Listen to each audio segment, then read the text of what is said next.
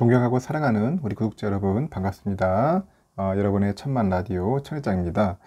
어, 여러분 저녁 맛있게 드셨죠? 어, 저녁 시간 맞이해서 여러분들에게 또 아주 흥미로운 이야기를 한번 어, 소개할까 합니다.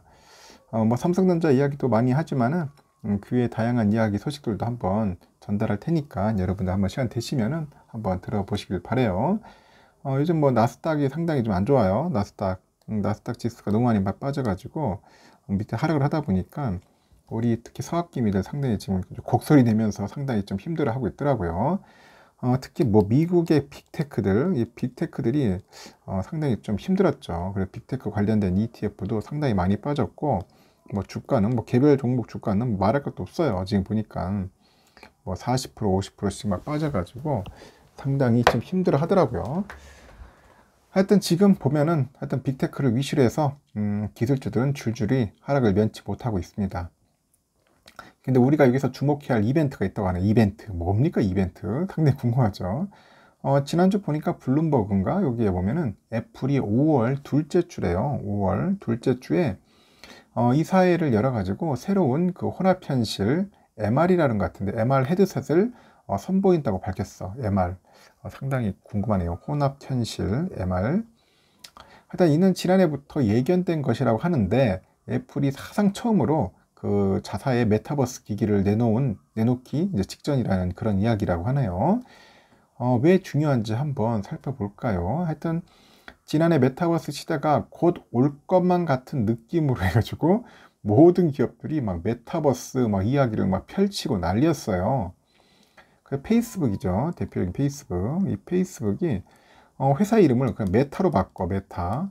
이 메타로 바꾸면서 회사의 모든 에너지를 관련 부문에 이제 쏟아붓는 겁니다. 쏟아붓고, 어, 그 결과 메타는 자사의 그 VR이죠. 가상현실. 그 기기인 오큘러스라고 있어. 오큘러스. 이 퀘스트, 퀘스트 2를 지난해 말까지 누적 천만 대 정도 어, 팔았습니다. 천만 대 정도 팔았다. 그래도 많이 팔았네, 생각외로. 아, 많이 팔았어요. 하지만 그 대중들은 여전히 그 메타버스 시대의 출현을 의심을 합니다. 아직까지 의심. 저도 약간 좀 의심이다기보는 가능하겠나 아직까지 그렇게 보고 있는데 아, 전 세계에서 VR 기기는 이제 팔렸는데 내 주변에서 보니까 이런 해당 기기를 쓰는 사람이 별로 없어. 거의 못 봤어요. 저도 이런 기기 쓰는 사람들. 어, 그 대신 애플의 그 아이폰 등을 이용하는 그 사람들은 애플의 그 메타버스 기기의 출현을 내심 기대는 하고 있다 합니다. 그래서 업계 전반에서도 어, 메타버스 시장이 확 열리려면은 전 세계적으로 어, 지난해 기존에 했을 때 아이폰만 한 20억 대 넘게 판매한 그 애플이 이제 참전을 해야 돼. 음, 애플이 합류해야지만이 어, 좀더 뭔가 활활 타오르지 않겠나 그렇게 생각이 들고요. 어, 그런데 그 미래가 이제 성큼 다가온 거예요. 그래서 애플 이사회에서 어, 그 팀쿡이죠, 팀쿡. 이 팀쿡의 그 최고경영자 CEO라고 있는데, 이 CEO하고 이제 이사회에서 8명으로 이루어져 있어요. 8명으로 이루어져 있고, 음? 그 애플이 이제 2011년이죠. 2011년 인공지능 AI 그 비서 그 시리, 이 시리가 어, 출시되기 전에도 이 사회에서는 이 시제품을 먼저 검토를 했다고 합니다. 현재 제품은 나왔는데 그 몇 가지 작업만 정리하면은 어, 이르면은 한 몇 개월 내에 애플 신제품이 출시될 가능성이 큰 상황이라고 하고 있어요. 어, 당연히 그 하드웨어만 만드는 것은 아니야. 하드웨어만 만드는 게 아니고 어, 소프트웨어도 만들어야 하는데 애플은 그 하드웨어랑 소프트웨어를 원스톱으로 가져가는 회사입니다. 원스톱. 잘하고 있지? 애플이 그런 것도 잘하는 것 같아. 그래서 헤드셋 전용 소프트웨어인 iOS가 아니고 ROS요. ROS.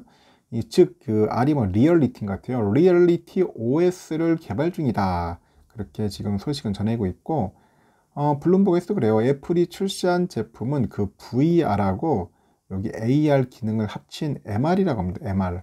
MR 약간 복합 그런 것 같아요.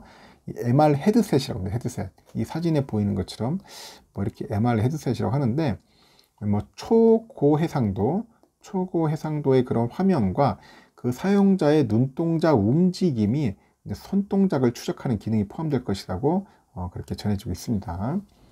어, 상당히 저도 궁금해집니다.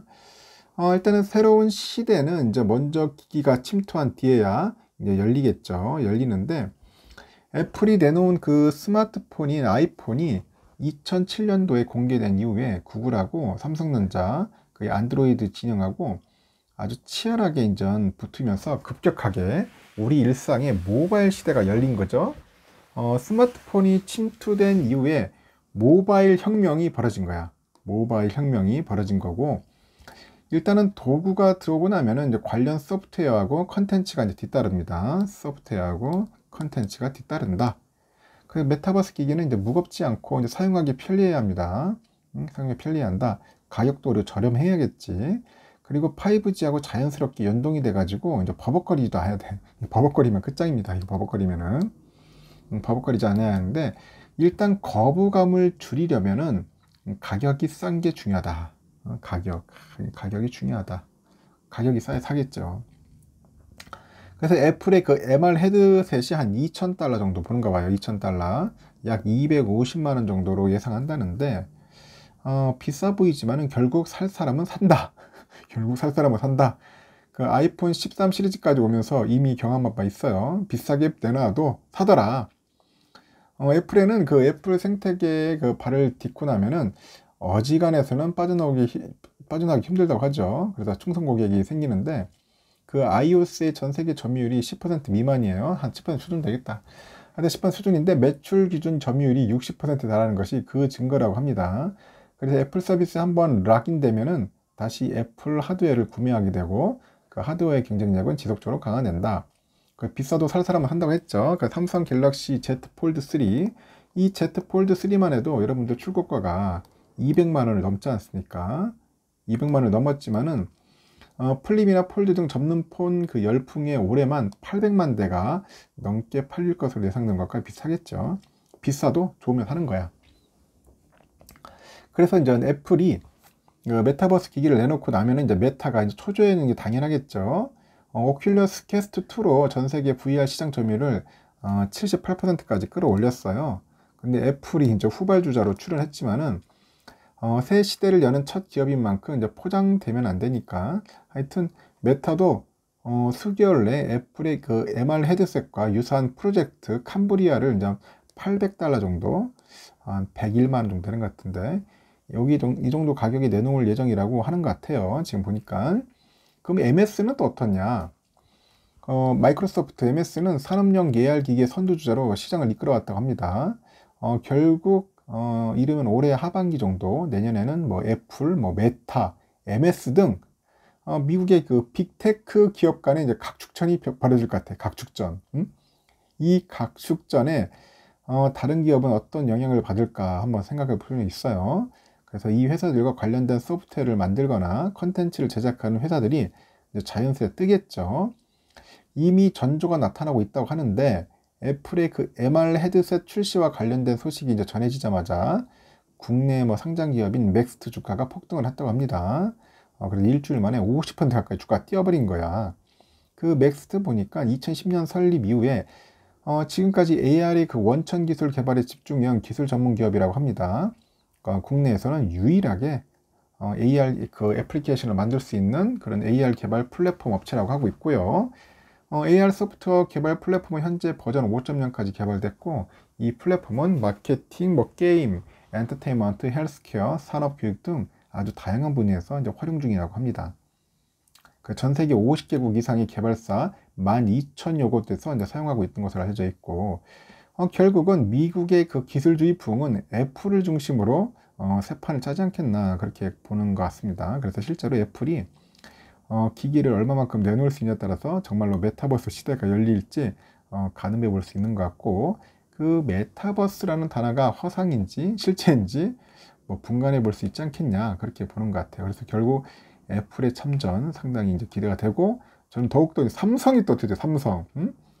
삼성도 마찬가지야. 이제 스마트폰 잘 만드는 회사이기 때문에 이 하드웨어는 또 삼성 아니겠어요? 애플이 만들면은 또 삼성도 또 따라 할 겁니다. 삼성전자도 분명 이전 AR 기기, 이전 아까 말한 것처럼 이렇게 MR 기기로 나가지 않겠는가 생각이 듭니다. 그래서 앞으로 애플도 들어가지, 이제 삼성도 들어갈 거야 분명. 그래가지고 이제 각축전이 되지 않겠나 메타버스. 음? 그 저는 메타버스는 지금 당장은 좀 그렇지만은 향후 한 10년 넘게 본다면 앞으로 메타버스 시대가 이제 판을 치지 않겠나 그렇게 봅니다. 음? 하여튼 이렇게 큰 기업들이 이제 나서주면은 엄청난 또 시너지 효과를 발휘하지 않겠나 생각이 들어요. 앞으로 우리의 시대는 빨리빨리 변할 것 같아요. 아주 막 급변하지 않겠나 생각이 듭니다. 어, 하여튼 어, 하반기에 주목해야 할 이벤트라고 합니다. 여러분은 참고하시고 나중에 또 새로운 소식 있으면 알려드릴게요.